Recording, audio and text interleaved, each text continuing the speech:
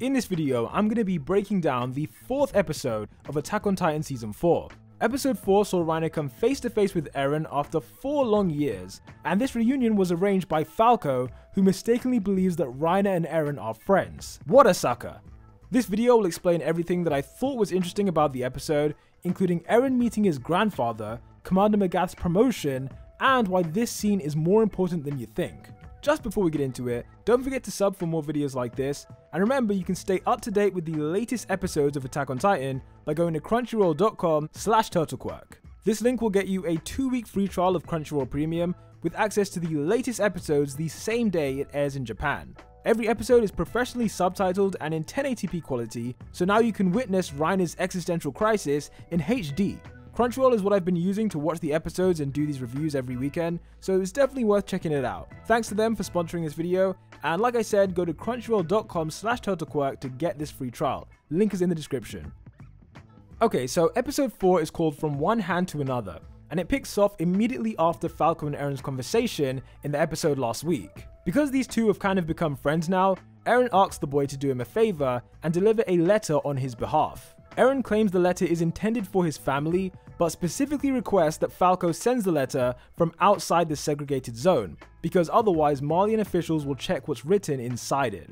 Definitely very suspicious behavior, but Falco doesn't see a problem and runs past Reiner on his way to post the letter. A really interesting thing to note is that Falco calls this man Mr. Kruger, which is the fake name that Eren is giving people to conceal his true identity. If the name Kruger sounds familiar to you, that's because Eren Kruger was a real character that we've seen before, as he was one of the previous holders of the Attack Titan and famously told Eren's dad to save Armin and Mikasa before Armin and Mikasa were even born. Anyway, before we move on, it's important to note that Falco was feeling a bit hopeless before his conversation with Eren in the last episode, but after hearing what he had to say about moving forward, Falco is now super motivated and is ready to try and surpass Gabi. The anime then moves over to military headquarters as the Tybur family makes a surprise visit. I explained the Tybur family in my review of episode 2, but for those who missed that, the Tyburs are a wealthy family of Eldians who are respected around the world because their ancestors helped destroy the old Eldian Empire. They are the possessors of the Warhammer Titan, which we haven't seen yet, and Willy Tybur is the current head of the family. During his visit, Willy chooses to speak to Commander Magath, who is the guy that manages the warrior unit. We know that Willy specifically wanted to speak to him because he arranged for Magath's superior officer to not be there at HQ so they could have this meeting. Throughout the conversation, it became clear that Willy already had a high opinion of the commander and even asked him to guess which member of his family has the Warhammer Titan. If you ask me, this guy looks very sus, but you know, he's too old to be a Titan shifter. Moving on, Willy states that he came to HQ to admire the statue of Helos, who was a historical Marleyan figure credited with defeating the devil that created the Titans.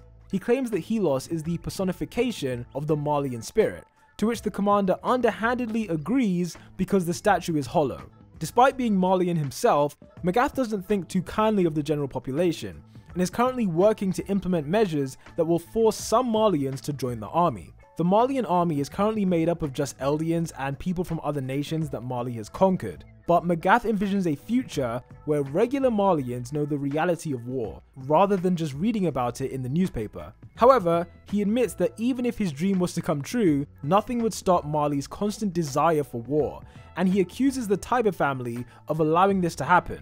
Magath believes that the Tybur family are secretly controlling the country, and therefore they are the reason why Marley is always invading other nations. Willy confirms that Magath is correct in that the Tybur family do control Marley. However, they gave Marley freedom to do what it wants. That's the reason why war is so common, because the Tyburs don't interfere as Marley put their fellow Eldian citizens into cages and then use them as tools of war. Had the Tyburs chosen to interfere, then things wouldn't be as bad as they are now, because Eldians would have more freedom and the Marleyan military would not have relied on the Titans, which has now caused their technology to fall behind other nations. Willy reveals that he has some concerning information that he will be revealing in the upcoming festival, and this festival was mentioned by Zeke during episode 2. The episode then moves away from those two and over to a horrified Porco catching Pete crawling on all fours. In the manga, this scene occurred before Zeke's meeting with the warriors, but in the anime it now occurs before Reiner's meeting with the Marleyan generals, alongside the other warriors as well. As I mentioned in the intro, this scene is more important than you think, because at first glance it seems like typical disrespect of Eldians that we're used to seeing. In reality, this moment directly ties into Magath and Willy's conversation later in the episode, and I'll explain why. Reiner is giving the military important strategic information about Paradise Island, but he's really dismissed by this guy who claims it was dumb to let Eldians talk. Obviously, that's incredibly stupid because all of the warriors here, except for Porco and Colt, have been to Paradise Island, so they have valuable information, and it's just being dismissed by a guy who knows nothing. Commander Magath was observing this idiocy, and in the manga, he even closes his eyes in frustration. Later in the episode, Magath and Willy have a coded conversation which is admittedly hard to understand, but basically Magath is using a metaphor to say that the higher ups in the Marleyan military, like this guy, are incompetent. That's why Willy congratulates Magath and calls him General, because Magath will be in charge of the military quite soon. The new general replies by saying that some people in the military are still useful, and according to them, spies from Paradise Island have now infiltrated Marley. That's what he meant by an infestation of rats. There are people from Paradise in Marley right now, and obviously Eren is one of them, but he's not the only one. Anyway, back at HQ, the Warriors observe as Falco finally beats Gabi in a race, which is not something that has ever happened before. Up till now, Gabi has basically been invincible, but thanks to some encouragement from Mr. Kruger, Falco has tried hard and is now, you know, he has the potential to inherit the Armor Titan. A scene that was cut from the anime was how Zeke and Colt then leave the area and play catch with a baseball and gloves. And I really wish they hadn't taken this out because you, I mean, you'll see why later in this video.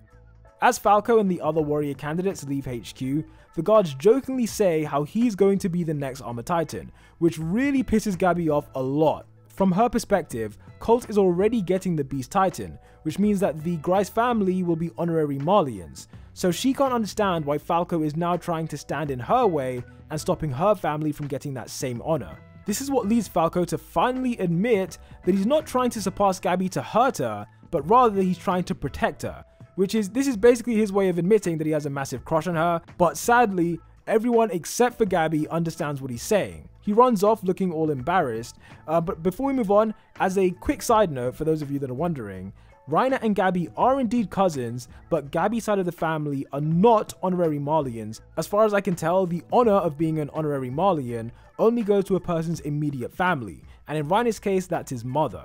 But when it comes to Gabi's side, no such luck. Switching back over to Falco now, he meets with his best friend Mr. Kruger and thanks him for giving him the motivation to surpass Gabi.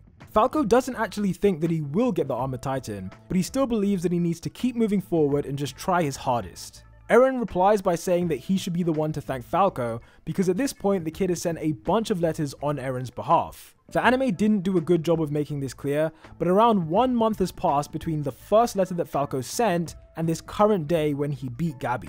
During that period of time, we don't know exactly how many letters Falco sent, but we know it was a lot.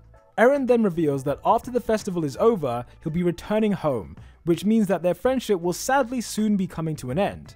Before Falco leaves, he notices that Mr. Kruger has a new baseball glove and he questions if it was given to him by his family, to which Eren basically confirms that it was. Of course, I won't go into spoilers on this, but if you remember what I said earlier about a certain scene that was removed from the anime, then it should be clear about who gave Eren this item. Anyway, the next moment that occurs is genuinely one of my favorite ever moments in Attack on Titan, as it seems almost like destiny is guiding certain characters to meet each other. As Eren is sitting down on the bench, he's approached by a doctor who is none other than Mr. Jaeger. Jaeger was the father of Grisha, grandfather of Zeke, and unknowing grandfather of Eren. Because Eren was born and raised on Paradise Island, his grandfather has no idea that he even existed, hence why he just casually sits next to his grandson without even knowing it.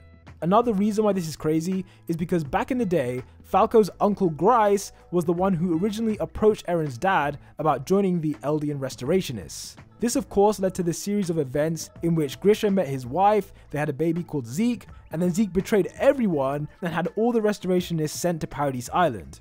In the present day, Eren not only has the founder, but he's infiltrating Marley with the unknowing help of Grice's nephew. So Grice and Grisha's relatives are, you know, whether they like it or not, they are fulfilling the mission of the Eldia Restorationists.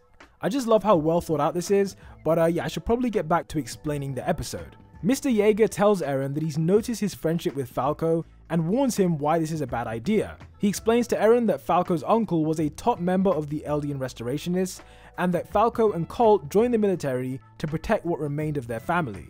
With Colt acquiring the right to be the next Beast Titan, the Grice family finally has proved their loyalty to Marley, and he tells Eren to stop having Falco perform errands for him before people suspect the boy of doing something wrong. He then tells Eren to return to his family, which is honestly one of the funniest ironies given that, you know, this is his actual grandson that he's talking to. As the conversation continues, two interesting things happen. Firstly, Eren begins to roast Mr. Yeager about his regrets in life, which of course Eren already knows about. For those of you that maybe forgot, Mr. Yeager's daughter was killed by Marleyan officers who set a bunch of dogs on her, and it was this knowledge that motivated Grisha to join the Restorationists. In this episode, Mr. Yeager breaks down and blames himself for causing these things to happen, because he was incredibly hard on Grisha as a boy. He was hard on Grisha because he wanted his son to live a peaceful life, but it inadvertently led to the opposite happening. I love this parallel because the same could be said for how Grisha was hard on Zeke, only for Zeke to become the opposite of what he wanted. The second interesting thing about this conversation was how Mr. Yeager broke down and it became clear that he was a patient at the hospital rather than one of the doctors, which is what we assumed. We previously saw him in episode 2 and he looked perfectly fine, so I guess he's not in the hospital all the time, but you know, when he has an episode, he just comes here. Later that night, politicians and leaders from around the world gather at Marley's military headquarters for dinner. This was at the request of the Tybur family, who, like I said, have a massive influence when it comes to other nations. We saw in this episode how, despite being an Eldian, Willy is a charismatic individual who is loved by everyone, which is precisely why Zeke wanted him to warn the world about Paradise Island. Nearly everything that happened in this scene was self explanatory, but one thing that does need explaining is why this lady covered for Udo after he spilled wine on her. As an Eldian, he would have been in serious, serious trouble if he was found responsible for this, and he knows better than any of the other warriors because his family used to live in the segregated zone of another country. Eldians there were treated even worse than in Marley, so you can forgive him for being fearful that he ruined the outfit of a foreign national. Luckily, this lady is an ambassador of Hizuru, and I hope I pronounced that right, but I mean, what does it matter? It's a fake nation. And uh, basically, people from that country are more tolerant of Eldians, and this lady in particular will be very relevant as the story continues. She saved Udo because she doesn't really gain anything from him being punished, and like I said, she doesn't hate Eldians like most people. Episode 4 ends on the following day, in which the festival finally begins and a bunch of food and entertainment from outside the segregated zone is brought into the segregated zone. As Udo said in the manga, people from other nations would normally feel insulted to have been invited to a place like this, so the festival is a way of spicing things up and giving the foreign VIPs a more fond impression of both Marley and the Eldians living in the country. As the clock ticks down to Willy Tybur's stage production of The Threat of Paradise Island, Udo reveals that Falco isn't there yet because he bumped into someone he knew. Seconds later, Falco frantically appears and he asks Reiner to come with him because he has a surprise to show him. They walk around the corner before Falco leads him down the stairs into an ominous looking room. Once there, we see Reiner's look of disbelief as he comes face to face with his worst nightmare, Eren Yeager. Falco mistakenly believes that Eren and Reiner are friends, but the truth will be revealed next episode, along with the truth of many other things. Anyway guys, that was the breakdown for episode 4. As usual, I'd appreciate if you dropped a like if you liked it, and share it with anyone who you think might enjoy it. Until the next one, peace out.